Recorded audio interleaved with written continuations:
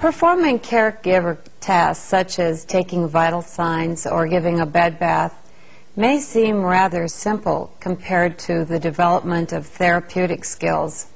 Hi, I'm Kathy Getrist, and today we're going to be talking about therapeutic interactions. Therapeutic interactions means the helping relationship that you develop with your coworkers and the patients with whom you work.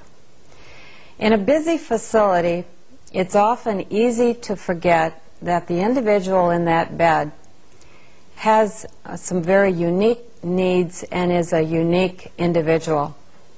We cannot assume that everyone is like we are. Our ways of relating to others and behaving are determined by many factors. Some of those factors are the age of the person.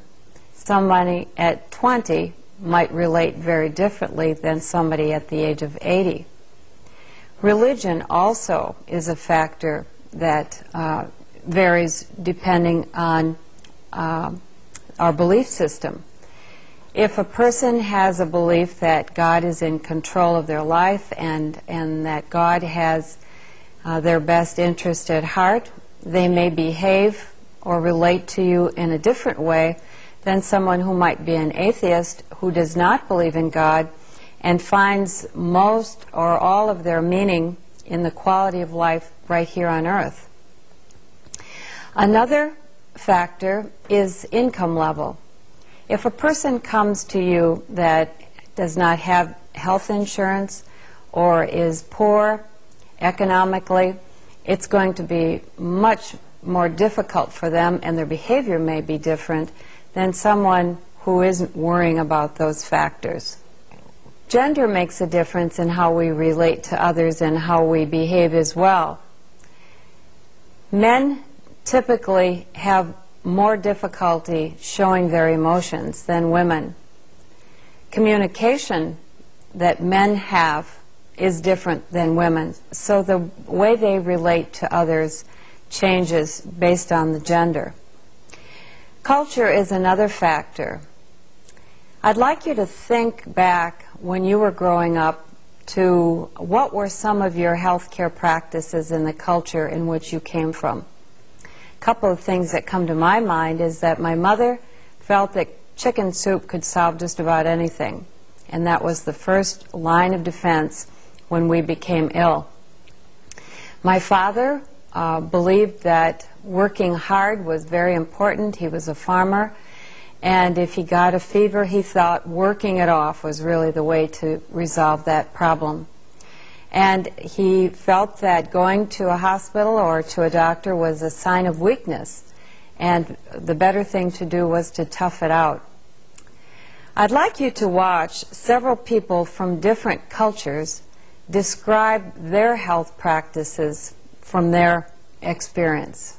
My parents were born in China. Both of them immigrated to the United States um, as adults. And I was born in Milwaukee, so I was raised in this culture. I am a second generation Mexican American. I was born and raised in Texas. My, my mother and father were both born and raised in Texas. I grew up in an urban community, and as a child, my father used to take oranges, make fresh orange juice, and put castor oil in it and he felt that was a cure for the common cold. Um, when I was growing up, I remember that whenever I had a stomach ache, my mother took out a little thin vial with little brown pellets in it, and she'd tell me to take eight of them, and it always worked. But I also remember a particular remedy that my mom used to, you know, use on us, and that was the use of, of uh, tomatoes uh, that were mixed with some uh, herbs that were then applied to uh, the tonsil area around our neck. Um, my parents were raised in India, but we moved to America when I was a baby. Um, when my sister and I got measles, my mother made a salve. I remember uh, part of it was sulfa and some other ingredients. It had an awful odor. She would spread it over our bodies, and then she would take socks and put a basting stitch around the neck of the sock and put it on each of our hands so that we couldn't scratch our bodies. We believe in all the prophets, but the last prophet, we believe in Muhammad. He said the um, onion seed is the cure for every disease except for death. So we take a little, uh, just a pinch of onion seed in the morning with our breakfast. and I guess I still have my tonsils. That remedy worked. It would, the remedy would go away. I mean, the pain and the, or the ailment would go away. Uh, so, do I believe in, in those things? Yes, I do. Sometimes when I have an upset stomach, I think I wish I had those little brown pellets to take. I'm sure many of those health practices were unfamiliar to you. Just a reminder that we are not all alike, and we need to remember that each is an individual with unique uh, needs and behaviors. We develop relationships with everyone we know. Some of those relationships are lasting and very rich, deep relationships, and others are more casual. Most of the satisfaction that a caregiver gets from their work comes from the quality of the interactions that they have with patients and staff. Some people call this the ability to get along with others. Good relationships with others begin within each one of us. It's not necessary for you to personally like somebody in order to be pleasant and cooperative with them as you carry out your duties. Perhaps the single most important characteristic that you bring to your job is your attitude. Some people talk about someone having an attitude, and the way they're using that is thinking about attitude as negative or opinionated, but all of us have an attitude. And this attitude can either be positive or it can be negative. All of the other characteristics are an outer reflection of our inner feelings, our attitude toward yourself and towards others. Your attitude should reflect warmth. That means showing a friendly, interested, and caring attitude without overwhelming the patients with a false sense of cheerfulness. Warmth means showing respect, genuine interest, and caring about them. Trust is another thing that needs to be shown. That must be present for help to be given and received. A therapeutic relationship is firmly rooted in trust. For trust to be developed, it must be consistent. Being consistently trustworthy is an expression of your personal integrity and builds the foundation for an effective relationship. There will be times that you're, you will have an opportunity to develop trust or a lack of trust with your patients. If a person asks you to, uh, to get them some water and you say, all right, Mrs. Jones, I'll do that and I'll be right back. And if you come right back with that water, that helps demonstrate trust because you've followed through on your commitment. If a caregiver asks you to come by a patient room at 10 o'clock because they need some assistance in turning that individual, and you follow through and come by at the time designated, that demonst demonstrates uh, trust as well. Empathy is understanding another person's perception of a situation.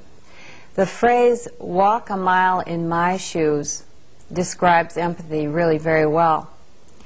Through empathy, we are able to see the world from the patient's perspective with as much understanding as possible.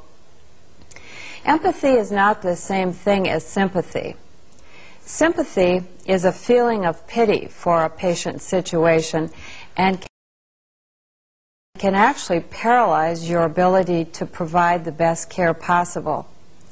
If you feel that your sad feelings for a patient's situation is getting in the way of your providing them with the best care possible, please talk to your supervisor about that. From my experience, at one point I worked in a hospital. a patient came in who was just about my age, in her late 30s, and she had two daughters that were approximately the same age as my daughters. She had been having a lot of abdominal pain, but had not come into the hospital or sought any medical advice because she did not have insurance. But instead, a neighbor was willing to give her some of her pain pills that she hadn't used. Until the pain got so excruciating, she had no choice but to seek medical attention. By the time she got to the hospital, uh, surgery was performed, and she had a cancer that had spread everywhere. And they were only giving her a few weeks to live.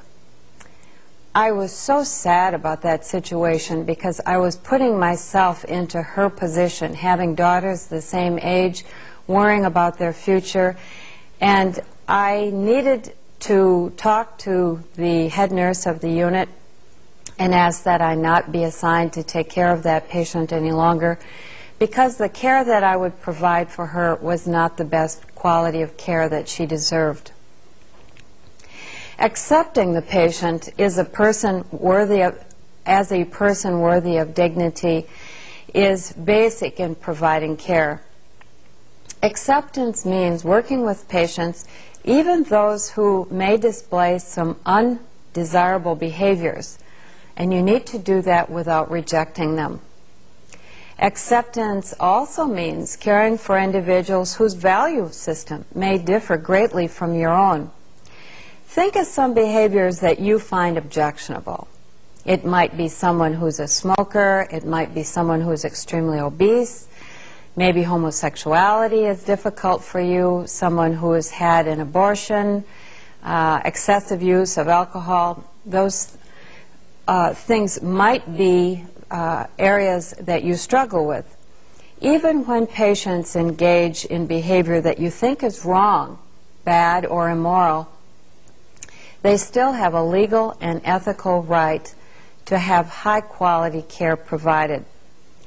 Sometimes gaining some knowledge about a person with a behavior that might have been objectionable to you can help change your perception. I worked with a fellow, and over the uh, course of time that I worked with him, uh, we became better and better friends. He was extremely good at what he did. He was very caring to the uh, students that he worked with, and he had a wonderful sense of humor and commitment to his job. And as we became closer, he um, shared with me that he was a homosexual. Well, I had had very limited knowledge about homosexuals in my past, but the little I thought I knew, I didn't know that I liked. Getting to know this individual helped me a great deal because he was able to uh, help dispel some myths and some misconceptions that I'd had about homosexuality, and as a result, changed my perception about him as an individual and about homosexuality in its entirety. There will be times when you experience anger, frustration, or hurt because of a patient's behavior or the comments that they may make. Coping with your feelings in an acceptable way is really essential.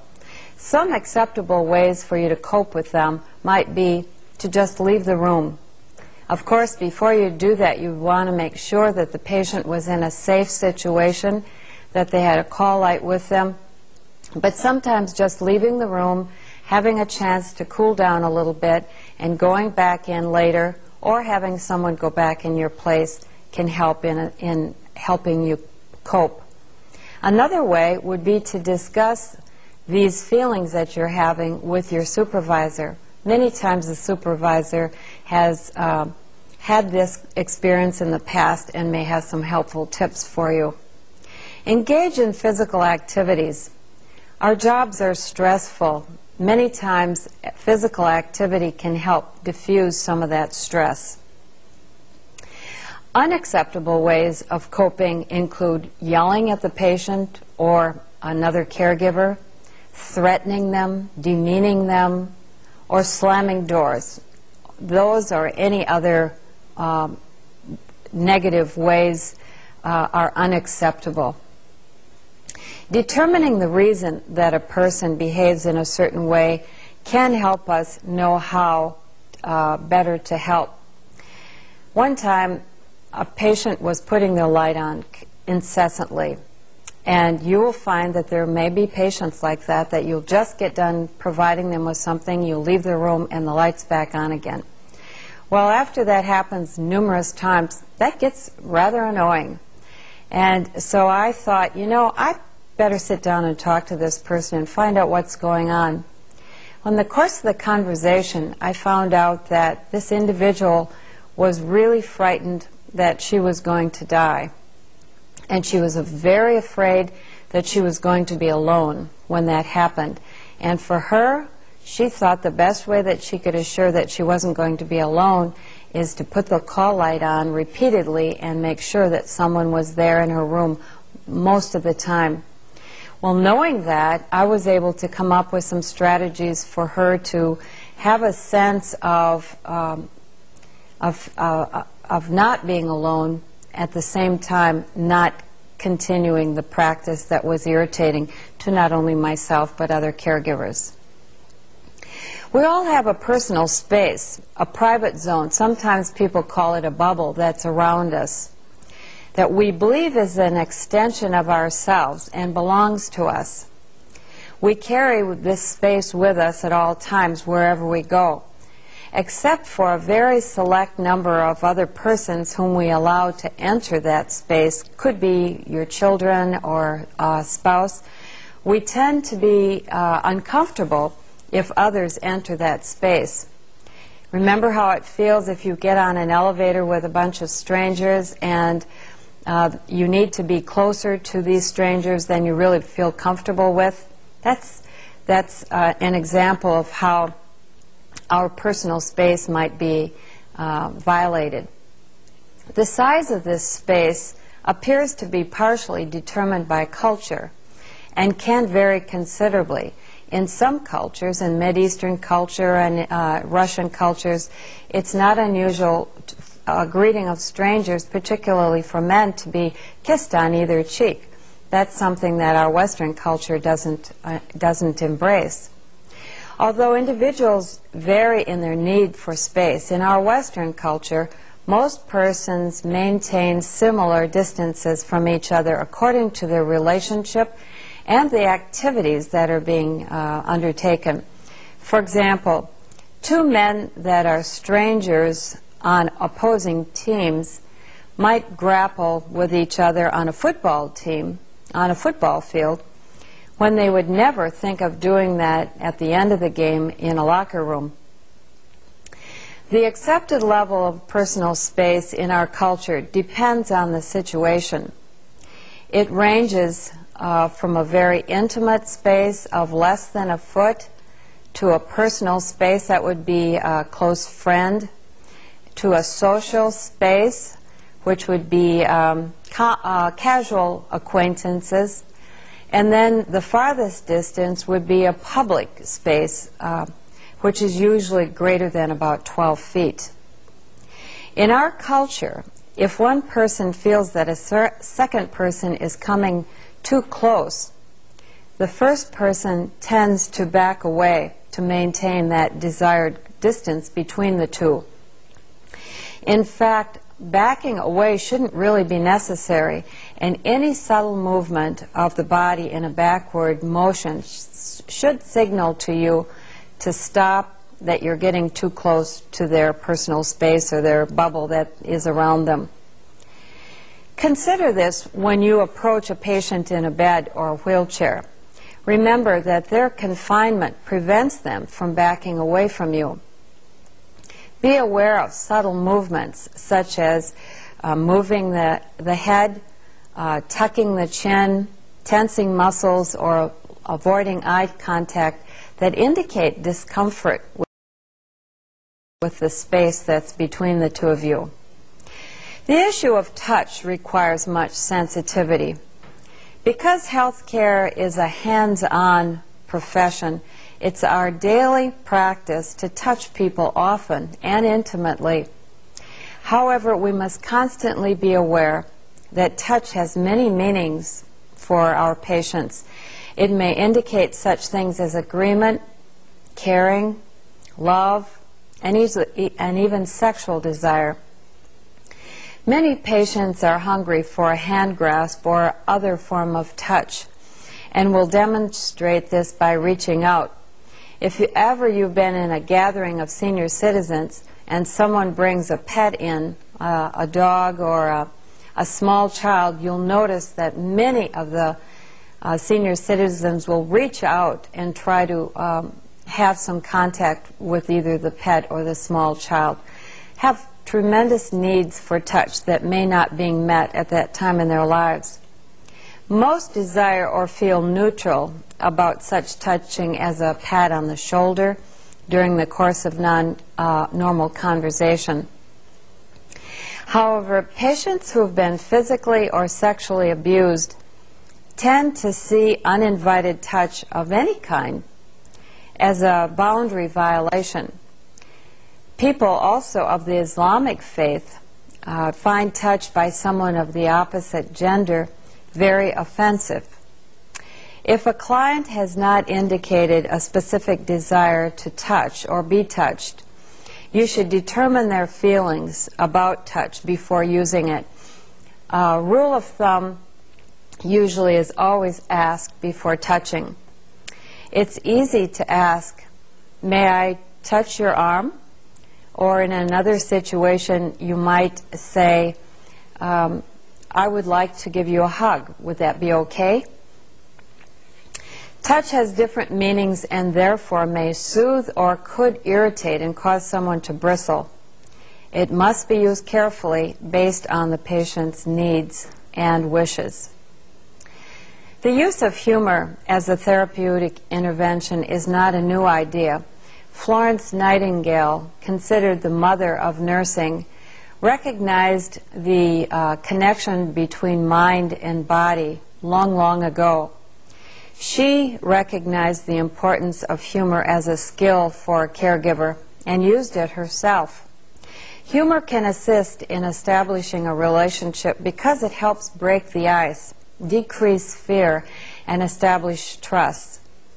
Humor is a means of sharing. Thus, it can be used to strengthen relationships. It's imperative that the caregiver be sensitive to the patient's interpretation of humor. Humor is defined to a great extent by one's cultural background. To determine appropriate humor for an individual, it's important that you make note of the type of humor that the patient uses and the things that make the patient laugh or smile. For example, if you used sarcasm, uh, uh, for example, saying, you know, if you don't get off your butt, you're going to be glued to it, that might be motivating for some person to exercise, but for somebody else, it might be a real insult. So be sensitive to the type of humor that the individual embraces.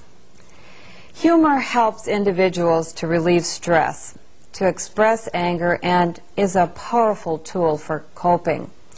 caregivers turn to humor often as we uh, have to uh, carry on life and death situations every single day at work.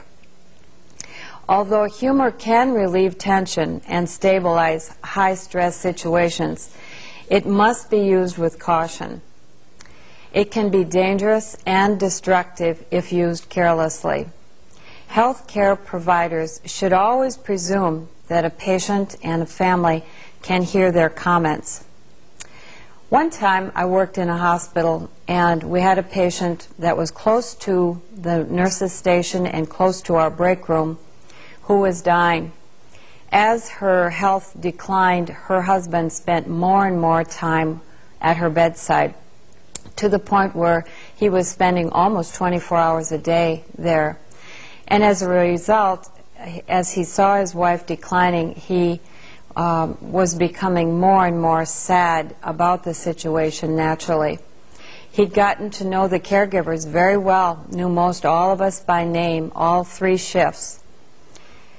And after she died, he came to me and he said, very despondently, he said, I just can't understand it. He said, they seemed to care so much about my wife, but he said, the minute they'd leave the room, they'd head into the break room, have something to eat, laugh with their friends as though nothing was on uh, bothering them. He was at a place where he couldn't understand how caregivers needed to use humor to diffuse some of the stresses of, of a caregiver's day. But knowing that it would have been important that the break room uh, be a place where uh, caregivers could have that kind of humor, but not within earshot of patients and their families. Throughout every situation, listening must occur. Listening involves paying attention. It's something that you have to do actively. It takes work to actively listen to someone. A good listener encourages the speaker to continue. Responses such as, go on, or, oh yes, those kinds of remarks indicate that not only is the individual listening, but they're thinking about what's being said. Sometimes a gesture like a nod or a smile can also convey that message. Have you heard the phrase, in one ear and out the other?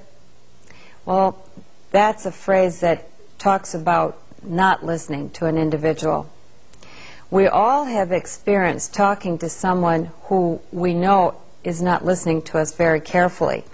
They may have their uh, eyes downcast in a magazine, or they may have one ear listening to TV or watching television while we're talking. And the message that's being conveyed is that what we're saying really is not that important to them. There are some problems that interfere with listening. Some people listen selectively. That is, they hear only what they want to hear, or they hear what they think the message is going to be. Listening can be a healing process. We all have a need to express our ideas and the need to be heard, and so it's very important that you actively listen to your patients. Sometimes you'll have patients that don't want to talk. Sometimes they aren't uh, able to talk, or sometimes it might be a situation that they don't have the energy to talk. That does not mean that they don't want to have uh, someone close to them. Sometimes the best thing that we can do is to offer ourselves. Sometimes the best interaction is silence. You can say something like, it's okay if you don't want to talk right now, but if you'd like, I could stay with you for about 10 minutes. Offering yourself may be exactly what an individual needs in that situation.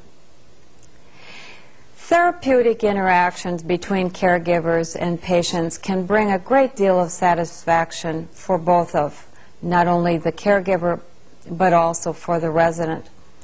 The most effective tool that we have for developing meaningful relationships is not some sophisticated piece of equipment, some machine that has lots of whistles and bells, but rather it's ourselves.